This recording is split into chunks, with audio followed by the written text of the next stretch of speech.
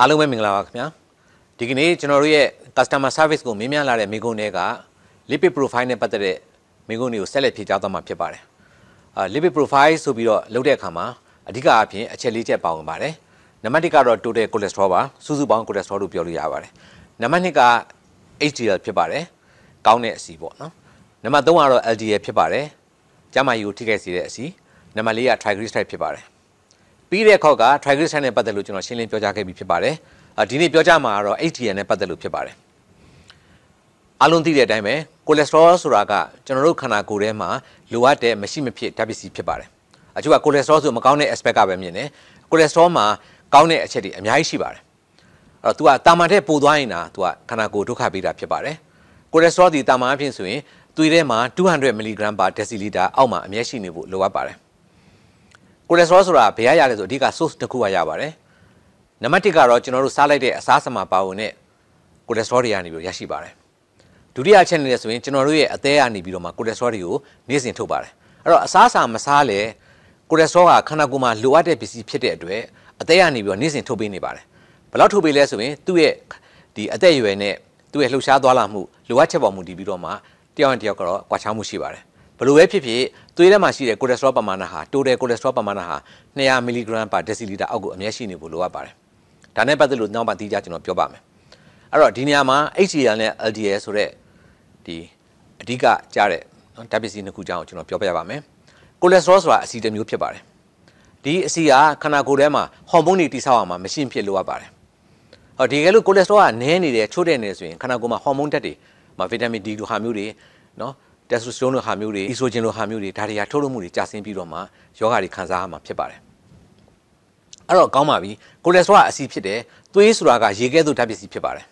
အဲ့တော့အဆီဟာသွေးထဲမှာသွားလို့လာလို့မရပါဘူးဒါကြောင့်မလို့ဒီကိုလက်စထရောကိုခန္ဓာကိုယ်အနှံ့ပြားမှာရှိတဲ့ tissue တွေကိုပို့ဆောင်တဲ့အခါမှာ transport လုပ်ဖို့အတွက်ကို protein တွေကတည်ဆောင်ပေးပါတယ်အဲ့ဒါကို transport protein လို့ခေါ်ပါတယ်အဲ့တော့အသေးကနေထုတ်လိုက်တဲ့ဟာအစားအသောက်ကနေပါတဲ့ကိုလက်စထရောတွေကိုခန္ဓာကိုယ်အနှံ့ပြားမှာရှိတဲ့ tissue တွေကိုပို့ပေးဖို့အတွက်ကို ဘယ်သူကလုပ်လဲဆိုရင်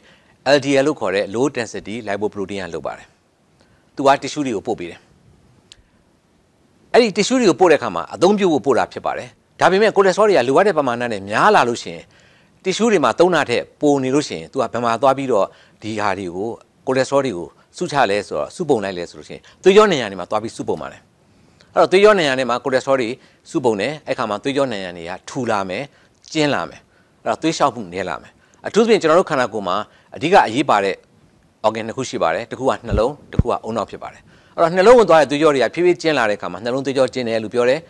သူ့ရဲ့ပို့ပြီးတော့ကျင်းပြီးတော့ကျင်းရနေပြီးတော့ပိတ်သွားလို့ရှိရင်နှလုံးသွေးကြောပိတ်တယ်လို့ခေါ်ပါတယ်ဒါကို heart attack ရလို့ခေါ်ပါတယ်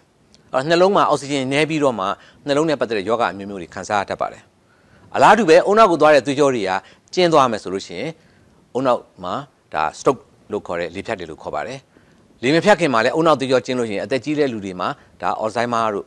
နော်သတိမေ့တဲ့ယောဂါတို့နော်ဒီမင်ရှာတို့ပါကစ္စတန်ယောဂါတို့စသည်အဖြစ်အုံနောက်ကိုအောက်ဆီဂျင်နည်းတဲ့အတွက်ကြောင့်ဖြစ်လာတဲ့နောက်ဆက်တွဲပြဿနာတွေအများကြီးဖြစ်ပါတယ်အဲ့တော့ဆိုရက်ထိပ်ပြကတော့ကိုလက်စထရောကို LDL လို့ခေါ်တဲ့နော် low density lipoprotein ကနေပြီးတော့ခန္ဓာကိုယ်အနှံ့ပြားကိုပေးတယ်ပို့လို့ရှိရင်ခုနကပြောတဲ့သွေးကြောနေရနေမှာသွားပြီးတော့ပုံတယ်အဲ့တော့ခန္ဓာကိုယ်မှာနောက်ထပ်လှုပ်ထားတဲ့သူ့ကို check လုပ်ထားတဲ့နောက်ထပ်စနစ်တစ်ခုရှိပါတယ်အဲ့ဒါဘာလဲဆိုရင် HDL ဖြစ်ပါတယ် HDL ကို HDL ဘာလုပ်တာလဲဆိုရင်ခန္ဓာကိုယ်မှာပိုနေတဲ့ကိုလက်စထရောတွေကိုသွေးကြောနေရနေမှာပိုနေတဲ့ကိုလက်စထရောတွေကိုသူကပြန်တယ်လာပြီးတော့မှ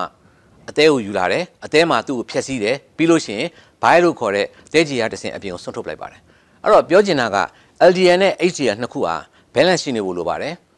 LDL တတ်မှတ်ထားတဲ့ပမာဏအတွင်းမှာရှိနေမယ် HDL လည်းတတ်မှတ်ထားတဲ့ပမာဏရှိနေမယ်ဆိုရှင်ကိုလက်စထရောရဲ့ metabolism ကပုံမှန်ဖြစ်နေပြီးတော့အလိုလဲလုံးမယ်သွေးကြောလည်းမပိတ်ဘူးဆိုတာဖြစ်ပါတယ်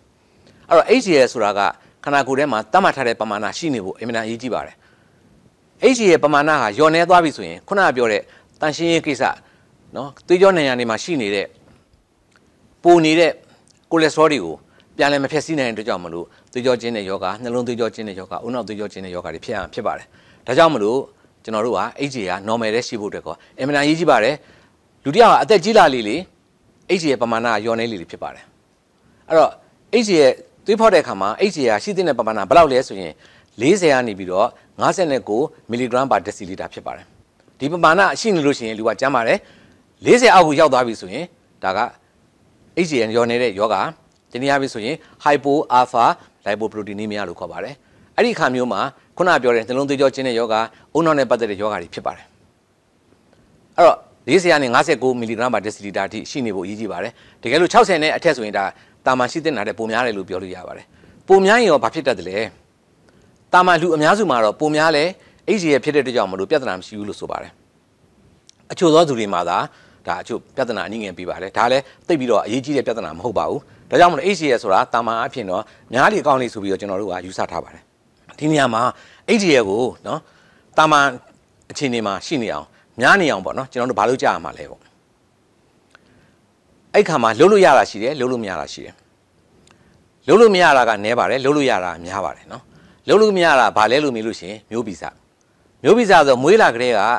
H ရဲ့ထုတ်လို့မှုကိုလိုအပ်တဲ့မျိုးဗီဇလေးရှိပါတယ်နော်အဲ့မျိုးဗီဇကို ABCA1 လို့ခေါ်ပါတယ် ABCA1 လို့ခေါ်တဲ့ gene ပေါ့နော်အဲ့ဒီ gene ကချိုးဝင်းနေလို့ရှိရင် Tangier disease လို့ခေါ်ပါတယ်အဲ့လိုခံမှုဆိုရင်ခန္ဓာကိုယ်က H ရဲ့ထုတ်မပေးနိုင်ဘူးထုတ်မရတဲ့ကြောင့် तू အများနဲ့နည်းနေမယ်ဘယ်တော့ပဲလှုပ်လို့ ဘလို့ပဲလှုပ်လို့ तू နည်းနေမယ်အဲ့လိုလူမျိုးကြရင် H ရဲ့ကိုကျွန်တော်တို့ကလိုအပ်တဲ့ treatment တွေပေးပြီးတော့မှ H ရဲ့များအောင်လုပ်ပေးဖို့လိုပါတယ်ဒါကလူအင်မတန်ရှားပါတယ်အရန်ရှားပါတယ်အဲ့တော့အဲ့ဒီယောဂရှိတဲ့လူကတကဘာလုံးမှာအခုဒီနေ့ထိလူတရားကျော်ပဲရှိပါသေးတယ်ဒါကြောင့်မတောင်းမေးလိုက်ပါလုပ်လို့ရတာတွေကျွန်တော်လုပ်ကြရပါမယ်နော်လုပ်လို့ရတာဘာလဲဆိုရင်အဓိကတော့ lifetime အနေထိုင်အစားအသောက်တွေပေါ့နော်အဲ့တော့အနေထိုင်စားသောက်ဆိုတဲ့နေရာမှာအရေးကြီးဆုံးအချက်ကဘာလဲလို့ရှိရင်နံပါတ်1စစ်လိစစ်လိက HDL ကိုကြာဆင်းတဲ့အခါမှာနံပါတ်1တရားခံဖြစ်ပါတယ် အဲ့တော့စစ်လိတောက်တဲ့လူတွေက HDL ကြာပါတယ်ကြာတဲ့ကြောင့်နှလုံးသွေးကြောကျဉ်တဲ့ယောဂအုံနောက်လေးဖြတ်တဲ့ယောဂတွေဖြစ်ကြပါတယ်အဲ့တော့စစ်လိတောက်တဲ့လူမှများသည် HDL ကျင်းသေးပေါက်ကြမယ်ဒါကြောင့်မလို့စစ်လိကိုအစောစီရမတောက်ပါနဲ့တောက်ပြီးတဲ့လူတွေကလည်းဒါဖြတ်ဖို့လိုပါတယ်အထူးသဖြင့်အသက်ကြီးလာလေလေပို့ပြီးလိုအပ်လေလေဖြစ်ပါတယ်ဒါနံပါတ်1ပါနံပါတ်2ကအဝလုံယောဂသတ်မှတ်ထားတဲ့ BMI လို့ခေါ်တဲ့ခန္ဓာကိုယ်ရဲ့ height ပေါ်မူတည်ပြီးတော့ရှိတဲ့ weight ဒါကို BMI လို့ခေါ်ပါတယ် BMI က25မကျော်ရပါဘူး BMI 25ကျော်လာတဲ့နဲ့မျှခန္ဓာကိုယ်မှာ triglyceride တွေလည်းများလာမယ်အဆီလည်းများလာမယ်အဲ့ဒီခါမှာဒီအဆီတွေကိုခြေဖြတ်ဖို့အတွက်ဒီအဆီတွေကိုပြန်ပြီးတော့မှအသေးကိုပြန်ပို့ဖို့အတွက်ကိုကိုလက်စထရောတွေလည်းများလာတော့ပြန်ပို့ဖို့အတွက်ကိုသူက HDL တွေအများကြီးသုံးရပါတယ်အများကြီးသုံးတဲ့တကြောင်မို့သူလိုအပ်ချက်တွေလည်းများလာတယ်သူကညော့နေသွားပါတယ်ဒါကြောင့်မလို့ခန္ဓာကိုယ်အလေးချိန်က25 BMI 25ထက်ကျော်တာများလာလေလေ26ဆိုရင် HG ရကြမယ်29ဆိုပိုကြမယ်28ဆိုပိုကြမယ်30ဆိုရင်တော့ HG ကကျင်းသေးပေါက်ကြနေပြီလို့ပြောလို့ရတယ် ဒါကြောင့်မလို့အဝါလုံးယောဂမဖြစ်အောင်ဂယူဆိုင်ဖို့လိုပါတယ်အနေထိုင်အစားတော့ကိုဂယူဆိုင်ဖို့လိုပါတယ်နောက်တစ်ခုကလေ့ကျင့်ခန်းလေ့ကျင့်ခန်းလုပ်တာများလေလေခုနကပြောတယ်လူရဲ့ weight ကိုမတက်အောင်လုပ်လေလေ LDL လည်းကျလေလေ triglyceride လည်းကျလေလေ HDL လည်းပဲတက်လာလေဖြစ်ပါတယ်ဒါကြောင့် HDL တက်ဖို့အတွက်အများဆုံးကတော့လေ့ကျင့်ခန်းဖြစ်ပါတယ်ပြေးတာလွှားတာကိုဝါသနာပါတဲ့အာကစားတစ်ခုတော့လုပ်စီချင်ပါတယ်အစားတောင်းနဲ့ပတ်သက်လို့ရှိရင်အရေးကြီးဆုံးအချက်ကဘာလဲဆိုတော့ HCL ကိုတက်စီတဲ့အစားအစာရှိတယ်ကျစီတဲ့အစားအစာရှိတယ်အဲ့ တော့ HCL တက်စီတဲ့အစားအစာတွေကိုပိုစားမယ် HCL ကျစီတဲ့အစားအစာတွေကိုအတတ်နိုင်ဆုံးရှော့စားမယ်တတ်နိုင်ရှောက်မယ်အဲ့တော့ HCL တက်စီတဲ့အစားအစာဘာလဲလို့မေးလို့ရှိရင်အဓိကစီထဲမှာဆိုရှင်မိုနိုစီလို့ခေါ်တဲ့ mono unsaturated fatty acid ဖြစ်ပါတယ်အဓိကကျွန်တော်တို့စားသုံးစီထဲမှာဆိုအကောင်းဆုံးကတော့တန်လင်းစီပေါ့နော်ဒါပေမဲ့ကျွန်တော်နိုင်ငံမှာတော့နှမ်းစီလိုမြေပဲစီလိုစားတာဖြစ်ပါတယ်အဲ့တော့တန်လင်းစီမှာ olic acid ပါတယ် olic acid က HDL ကိုဓာတ်ဖြစ်စေပါတယ် olic acid ကိုစားလိုက်ရင်ခန္ဓာကိုယ်မှာအသက်ရနေပြီး HDL အများကြီးထုတ်ပေးတယ် အဲ့ခါမှာ HDL လည်းပဲတက်တာမြန်တယ်ပေါ့နော်တစ်ဖက်ကစားသုံးစီမှာပြည့်ဝစီတွေက HDL ကိုကျဆင်းစေပါတယ်ပြည့်ဝစီဆိုတာအားလုံးသိတဲ့အတိုင်းပဲစားအောင်စီပါမယ်ဝက်စီတို့အမဲစီတို့စသည်အပြင်အပြည့်ဝစီတွေစားတာများလေလေ LDL တက်လေလေအဲ့တက်နေတဲ့ LDL ကိုခြေဖျက်ဖို့အတွက်ကို HDL တွေကအသုံးအားလေလေ HDL အသုံးအားများလာလေ HDL လည်းပဲကြလေဖြစ်ပါတယ်ဒါကြောင့်မလို့စားသုံးစီနဲ့ပတ်သက်ရင်မပြည့်ဝစီတွေစားမယ်ပြည့်ဝစီတွေကိုအတတ်နိုင်ဆုံးရှောင်ပါ နောက်တစ်ခုကအစီနဲ့ပတ်သက်ရင်ငါးပေါ့နော်အစီပါတဲ့ငါးတွေနော်ဒီမြန်မာနိုင်ငံမှာဆိုလို့ရှိရင်လေဘာတာဖစ်တူနာတို့ဆော်မွန်တို့ငမြင်းတို့ငချင်းတို့အဲ့တော့အဲ့လိုမျိုးငါးတွေကိုစားမယ်ဆိုရင်သူ့မှာပါတဲ့ omega 3က HDL ကိုတက်စေပါတယ် HDL တက်ဖို့တက်ကိုအဓိကကုန်ကျန်းအနေနဲ့ omega fatty acid တွေကိုသုံးရပါတယ် omega 369ကိုပါတဲ့အစားအစာတွေကိုစားရပါတယ်ငါးနဲ့အတူတူ omega 369ပါတာတွေကဘာလဲဆိုရင် nuts တွေဖြစ်ပါတယ်အခွန်မာတဲ့အစိဆန်တွေဖြစ်ပါတယ် almond တို့ pistachio တို့ အဲ့လိုမျိုးအစားအစာတွေကိုစားမယ်ဆိုရင် omega fatty acid တွေ omega 369ပါတဲ့အစားအစာတွေဖြစ်တဲ့အတွက်ကြောင့်မလို့သူတို့က HDL ကိုတက်စေပါတယ်ဒီနေ့အပြင် HDL တက်တဲ့ဆိုတာ LDL ကျစေခြင်းဖြစ်ပါတယ်နောက်ထပ်အရေးကြီးတာကတော့ carbohydrate ကာဝဲတွေကစံနဲ့လုပ်တဲ့အစားအစာဂျုံနဲ့လုပ်တဲ့အစားအစာရှုဂါပါတဲ့တကြားပါတဲ့အစားအစာအချိုရည်တွေအဲ့ဒီအစားအစာတွေအားလုံးက triglyceride ကိုတက်စေပါတယ် triglyceride တက်တာများလေလေ HDL လည်းပဲကျစေတယ်ဖြစ်ပါတယ်ဒါကြောင့်မလို့အတက်နိုင်ဆုံးကို ကာဘိုဟိုက်ဒရိတ်ကိုရှော့စားဖို့လိုပါတယ်ထမင်းစားတဲ့အခါမှာထမင်းကိုအတက်နိုင်ဆုံးရှော့စားဖို့လိုပါတယ်နောက်ထမင်းစားရင်းနဲ့အတူတူအရေများများတောက်မယ်အထူးသဖြင့်ရေကိုများများတောက်ဖို့လိုပါတယ်ရေများများတောက်ခြင်းအပြင် HDL တက်ဖို့တဲ့ကိုအထောက်အကူဖြစ်ပါတယ်ဒါနဲ့ပတ်သက်သူတေသနာလုပ်ငန်းတွေတော်တော်စိတ်ဝင်စားဖို့ကောင်းပါတယ်နောက်ထပ်အရေးကြီးတာနဲ့ပြောမယ်ဆိုလို့ရှိရင်တော့ဒီအယ်ကိုဟောဖြစ်ပါတယ်အချို့အရက်တောက်တဲ့လူတွေကနော်အရက်တောက်လို့ရှိရင်တဲ့နော်ဒါခန္ဓာကိုယ်မှာ HDL နဲ့ပတ်သက်လို့တက်လာကြလာပေါ့နော်တာမန်ဖြင့် moderate amount အထိ အရက်တောက်မယ်ဆိုရင် HDL ကိုတက်စေပါတယ်စက်လီနဲ့မတူပါဘူးစက်လီကတော့တလေးတောက်လဲ HDL ကျတယ်နှစ်လေးတောက်လဲပိုကျတယ်သုံးလေးတောက်ရင်ပိုဝေးပိုဝေးကျတယ်အရက်ကတော့အနည်းငယ်တောက်လို့ရှိရင် HDL ကိုတက်စေပါတယ်အနည်းငယ်တဲ့ပုံများသွားလို့ရှိရင်တော့ HDL ပြန်ကျစေပါတယ်နော်ဒါကြောင့်မလို့အရက်ကိုတောက်မဲ့တောက်တဲ့လူကတနေ့ကိုတစ်ပတ်တန်နှစ်ပတ်တန်ဒီကြားမှယူတဲ့တောက်မယ်ဆိုလဲဆက်တောက်လို့ရပါတယ်သို့တော်ညာလဲဝရတယ်ဆိုရင်တော့အရက်တောက်တာဒီကယ်လိုရီများတဲ့ကြောင့်မလို့ဝရတဲ့လူတွေရက်တောက်မယ်ဆိုလို့ရှိရင်တော့အဓိကအပြင်သတိထားဖို့လိုအပ်ပါတယ်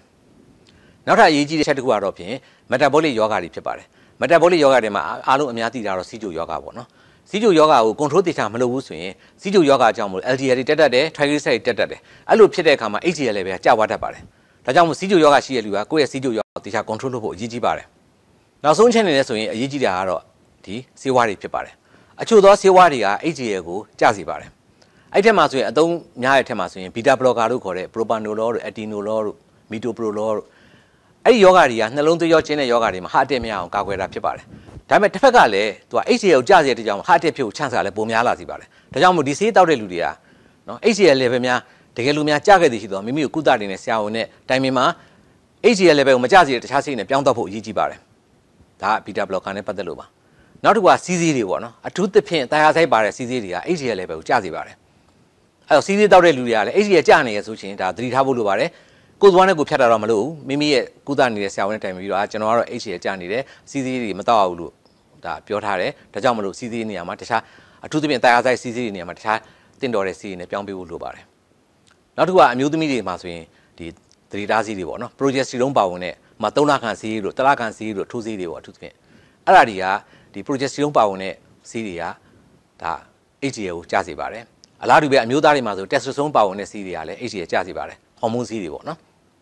ဒါကြောင့်မလို့ဒီလိုဆေးမျိုးတွေကိုအဓိကအဖြစ်ဒါတောက်နေတဲ့လူတွေဆိုရင် HDL များကြာခဲ့သည်ရှိတော့မိမိကုသနေတဲ့ဆရာဝန်နဲ့တိုင်ပင်ပြီးတော့မှလိုအပ်တဲ့တွေကိုစီးတွေပြောင်းတန်နေပြောင်းရမယ် short တန်နေ short ရမယ်ဒါတွေလုပ်ဖို့လိုအပ်ပါတယ်နောက်ထပ်အရေးကြီးဆုံးချက်ကတော့เนาะ HDL ကိုတက်စေတဲ့ supplement တွေဖြစ်ပါတယ်အဲ့ supplement တွေမှာအဓိကနှစ်ခုရှိပါတယ်နံပါတ်1ကတော့ omega 3 sinine ပေါ့နော် omega 3 sinine ဆိုတာတော့သူတဲ့ပါပဲ omega 3 sinine ဒီ HDL ကိုတက်ဖို့တက်ကိုအထောက်အကူအဖြစ်ပါနံပါတ်1ဖြစ်ပါတယ် အဲ့တော့ omega 3ရော omega 6ရော omega 9ရောသုံးခုစလုံးကအချိုးကျကျနဲ့ရှိနေလို့ရှိရင် HDL level တက်ဖို့အတွက်ထောက်ကူဖြစ်ပါတယ်အဲ့တော့အားကြောင့်မို့အသက်40ရာနဲ့စပြီးတော့ HDL level ကစပြီးလူတွေမှာကျလာလေးရှိတဲ့အတွက်အဲ့ဒီ HDL level ကို maintain လုပ်ဖို့အတွက် omega 3 sinine ကိုအသက်40ရာနဲ့စပြီးတော့ပုံမှန်အဖြစ်မိနစ်3ညသလုံးပုံမှန်မှီဝဲမယ်ဆိုရင် HDL level ကိုထင်ထားနိုင်ပါတယ်တကယ်လို့များသွေးစစ်လိုက်လို့ HDL level ကတာမရှိတဲ့နဲ့40တဲ့အောက်ကိုရောက်နေပြီဆိုရင်တော့မိနစ်နှလုံးညနှလုံးတောက်ဖို့လိုအပ်ပါတယ်40အထက်ကိုပြန်ရောက်သွားပြီ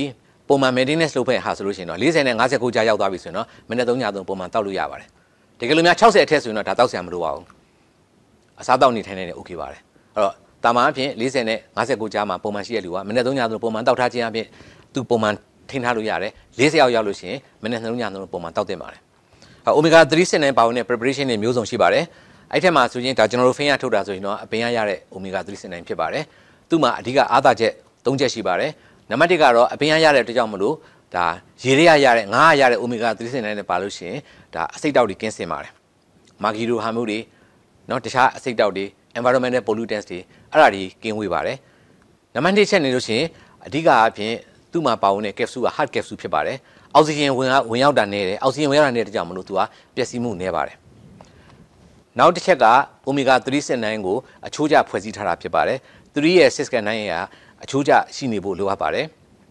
3တွေပဲများပြီးတော့6ကနည်းလို့ရှိရင်လည်းမရပါဘူး9မပါလို့လည်းမရပါဘူးနိုင်3နဲ့6ကတော့ခန္ဓာကိုယ်မှာမထုတ်လို့နိုင်ပါဘူးဒါကြောင့်မလို့အပြင်အစားအစာမှာပါဖို့မဖြစ်မနေလိုအပ်ပါတယ်နေ့စဉ်စားတဲ့အစားအစာမှာပါဖို့လိုပါတယ်အိုမီဂါ9ကတော့ခန္ဓာကိုယ်မှာထုတ်ပေးနိုင်တယ်ထုတ်ပေးနိုင်တယ်ဆိုပေမဲ့အချို့သောလူတွေမှာထုတ်လို့မှုကညော်နေပါတယ်ဒါကြောင့်မလို့အိုမီဂါ3 9အချိုးကျဖြစ်ထားတဲ့ဒါ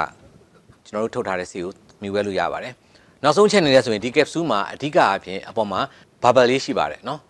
လေခိုတာလေးရှိပါတယ်အဲ့တော့တာမားဖြင့်ဒါလေမဟုတ်ပါဘူးဒါနိုက်ထရိုဂျင်ဖြစ်ပါတယ်နိုက်ထရိုဂျင်ဘာကြောင့်ထည့်ထားလဲဆိုရင်နိုက်ထရိုဂျင်ဒီ preservative ဖြစ်ပါတယ်နိုက်ထရိုဂျင်နဲ့ထည့်ထားတဲ့ကြောင့်မလို့အထက်မှာရှိတဲ့ omega 3ဆန်နဲ့မပျက်စီးအောင်ထိန်းသိမ်းပေးတာဖြစ်ပါတယ်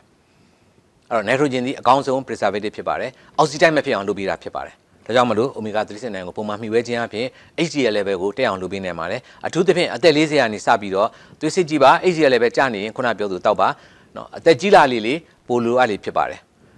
ချို့ပို့ပြီးတော့နော်အရေးကြီးတာကအုံနောက်နဲ့အာရုံကြောဒါကိုပုံမှန်တောက်ထားကြအသက်ကြီးလာတဲ့ခါမှာလူတိုင်းလူတိုင်းကအုံနောက်ကိုသွားရသွေးကြောလေးတွေအနည်းငယ်ကျင်းလာလေးရှိပါတယ်ကျင်းတဲ့တကြောင်မလို့အုံနောက်ကလုပ်ငန်းဆောင်တာတွေမှာထိခိုက်ပါတယ်အဲ့ဒီခါမှာသတိမေ့တာပါကင်ဆန်ယောဂါတို့အော်ဆိုင်းမာယောဂါတို့ဖြစ်ပါတယ်ဒါကိုကာကွယ်နေတာက HGL ဖြစ်ပါတယ် HGL ကိုတာမန်ရှိတဲ့အမောင့်ကိုထိန်းထားနိုင်တယ်ဆိုရှင်ခုနပြောတဲ့ယောဂါတွေကာကွယ်ရရောက်ပါတယ်ဒါကြောင့်မို့အသက်40ရာနေစပြီးတော့ omega 3စနစ်မှီဝဲပါလို့ကျွန်တော်အနေနဲ့အကြံပြုချင်ပါတယ်နောက်ထပ် supplement တစ်ခုကတော့ဖြင့်ဂျင်ဆင်းဖြစ်ပါတယ်နော် ဂျင်ဆင်းဆိုတာတော့အသက်ကြီးရဲ့လူတက်ကိုအင်မတန်ကောင်းတဲ့အားစီးဆိုတာအားလုံးသိပြီးသားဖြစ်ပါတယ်ဂျင်ဆင်းကကောင်းကျိုးတွေအများကြီးရှိတဲ့အထက်မှာတစ်ခုကဘာလဲဆိုရင် HDL ကိုတက်စေခြင်းဖြစ်ပါတယ်အသက်ကြီးလာတဲ့အခါမှာယောဂါတွေဖြစ်တာဒီ HDL ကြာဆင်းခြင်းနဲ့ဓာတ်ရိုက်ပတ်သက်ပါတယ် HDL နဲလီလေးနှလုံးသွေးကြောကျင်းတဲ့ယောဂါနဲ့အုံနောက်နဲ့အောင်ယောဂါတွေဖြစ်ပါတယ်နှလုံးနဲ့အုံနောက်ဆိုတာတော့လူတစ်ယောက်မှာအရေးကြီးဆုံး organ နှစ်ခုဖြစ်ပါတယ်အဲ့တော့ဂျင်ဆင်းကိုပုံမှန်တောက်ခြင်းအပြင် HDL level ကိုထိန်းထားနိုင်မယ်ပြီးလို့ရှိရင်အုံနောက်နဲ့အောင်ကျော်ယောဂါတွေနှလုံးယောဂါမဖြစ်အောင်ကာကွယ်ရရောက်ပါတယ် ဒါကြောင့်မလို့ဂျင်ဆင်းကအသက်40ရာနေစပြီးတော့မနေ့တလုံးညတလုံးနေ့စဉ်ပုံမှန်မှီဝဲလို့ရပါတယ်တခုပဲရှိပါတယ်ဂျင်ဆင်းကသူ့ရဲ့အရေးကြီးတဲ့ဘေးရက်ဆိုးကျိုးအနေနဲ့ဆိုရင်အချို့သောသူတွေမှာလူတိုင်းတော့မဟုတ်ပါဘူးသွေးနည်းနည်းတိုးစေပါတယ်သွေးတိုးတဲ့ရှင် pressure များတယ်ဆိုရင်တော့ဂျင်ဆင်းတောက်လို့မရပါဘူးသွေးတိုးတဲ့အချိန်မှာတော့ဖြတ်ဖို့လိုပါတယ်သွေးတိုးမယောဂမရှိဘူးငကိုခံလည်းမရှိဘူးဆေးတောက်တဲ့ခါမှာလည်းသွေးတက်တာမရှိဘူးဆိုတော့ဂျင်ဆင်းကိုပုံမှန်မှီဝဲလို့ရပါတယ်မနေ့တလုံးညတလုံးပုံမှန်မှီဝဲခြင်းအပြင် HGL level ကိုများအောင်လုပ်ပေးနေပါတယ်ဟောဒီနေ့ပြောခဲ့တာကတော့ဖြင့် HGL နဲ့ပတ်သက်လို့ဖြစ်ပါတယ် နောက်ဆုံးအနေနဲ့ပြောချင်တာအသက်40ကျော်တဲ့လူတိုင်းဟာမိမိရဲ့ lipid profile လုပ်တဲ့အခါမှာ HDL နော်များနေလို့ရှိရင် okay ပါတယ်တကယ်လို့ HDL များလျော်နေခဲ့လို့ရှိရင်ခုနကျွန်တော်ပြောသူနေထိုင်စားတော့ပြီးတော့လိုအပ်တဲ့ supplement တွေမိဝဲခြင်းအဖြစ်လဲမိမိရဲ့ယောဂါတွေကိုကြိုတင်ကာကွယ်နိုင်ကြောင်းပြောကြားရင်းနဲ့ညီကိုချုပ်ပါတယ်အားလုံးပဲကျမ်းမာချမ်းသာကြပါစေအားလုံးကိုကျေးဇူးတင်ပါတယ်